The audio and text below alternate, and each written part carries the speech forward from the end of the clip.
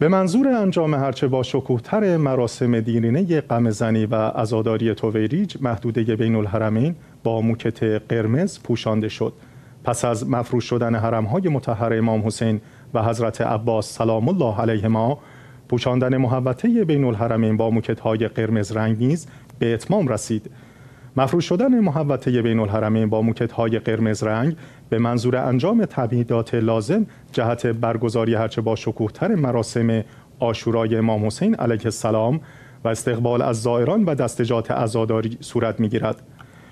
مهمترین دستجات عزاداری آشورا مراسم قمزنی و دسته تویریج است که بین الحرمین و حرمهای متحر حضرت ابا عبدالله الحسین و حضرت ابوالفضل العباس سلام الله علیهما همه ساله شاهد حضور و برگزاری مراسم باشکوه آنها می باشد. موکت هایی که به منظور پوشانیدن حرم های متحر و بین الحرمین مورد استفاده قرار می گیرد سالانه بالغ بر بیش از 14 هزار متر مربع تخمین زده می شود.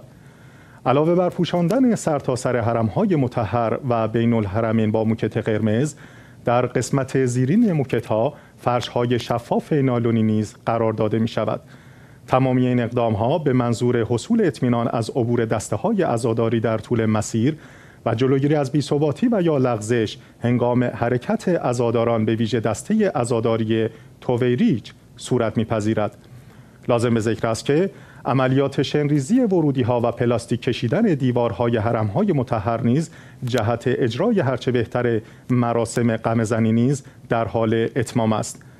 حرم های متحر امام حسین و حضرت عباس سلام الله علیهما اعلام کردند که تمامی تمهیدات لازم جهت برگزاری مراسم روز دهم محرم و کلیه موارد مورد نیاز عزاداران حسینی به منظور ایجاد فضای لازم جهت احیای آشورای حسینی را تأمین نمودند.